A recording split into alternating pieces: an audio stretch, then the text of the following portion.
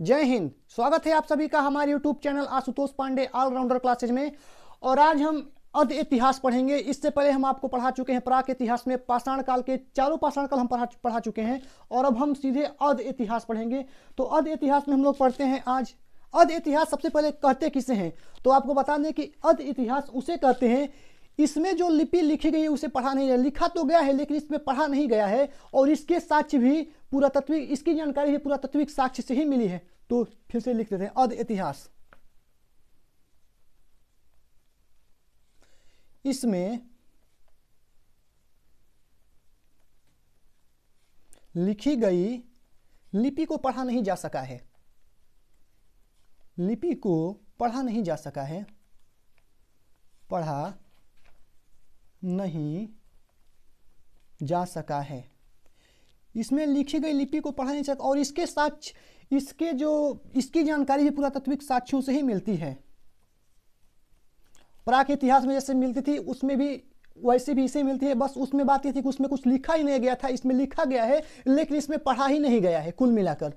तो इसकी जानकारी जानकारी भी पुरातत्विक साक्ष्यों से ही मिलती है।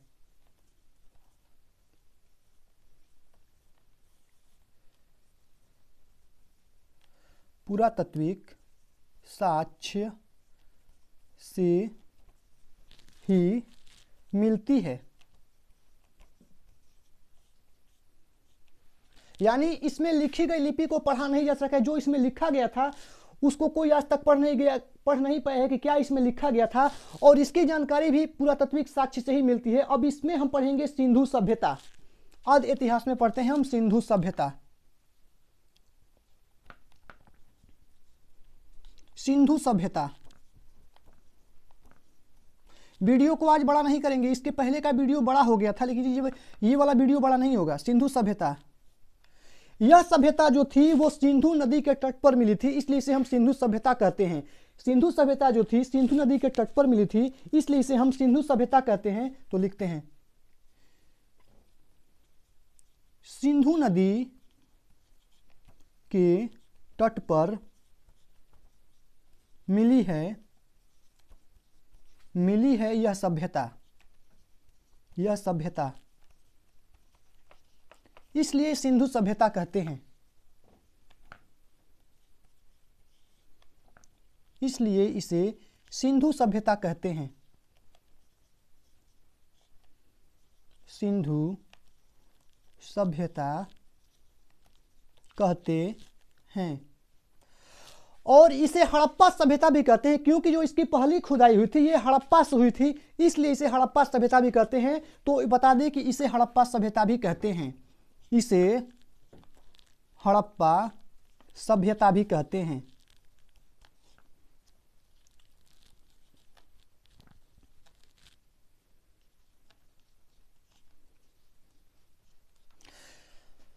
सिंधु सभ्यता की जो सबसे पहली जानकारी थी, वो चार्ल्स मैसन ने दिया था। सिंधु सभ्यता की जो सबसे पहली जानकारी थी, वो चार्ल्स मैसन ने दिया था। तो देखिए, सिंधु सिंधु सभ्यता की जो सबसे पहली जानकारी थी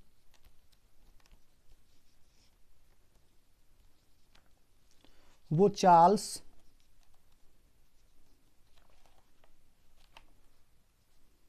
मैसन ने दिया था। मैसन ने दिया था। आपको बता दें कि सिंधु सभ्यता जो थी, वो तेरह लाख वर्ग किलोमीटर में फैली थी। सिंधु सभ्यता तेरह लाख वर्ग किलोमीटर में फैली थी। सिंधु सभ्यता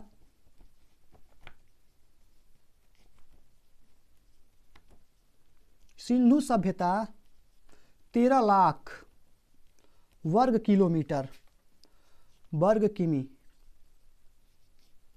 में फैली थी। सिंधु सभ्यता तेरह लाख वर्ग किलोमीटर में फैली थी।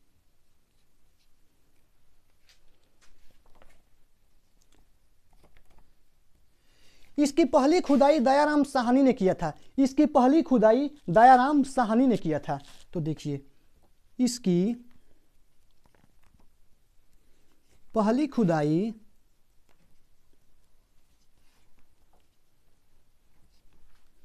दयाराम साहनी दयाराम साहनी ने किया था।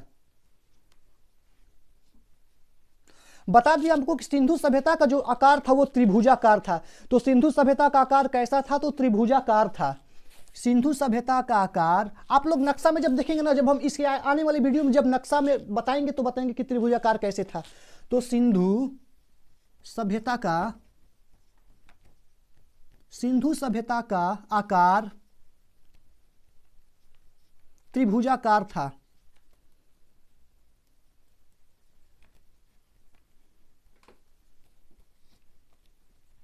सिंधु सभ्यता जो थी, विश्व की सबसे पहली शहरी सभ्यता थी। क्या थी? सिंधु सभ्यता, विश्व की सबसे पहली शहरी सभ्यता थी।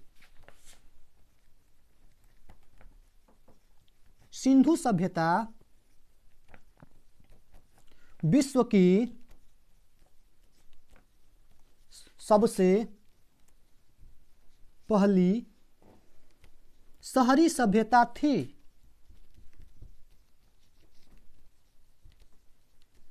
शहरी सभ्यता थी।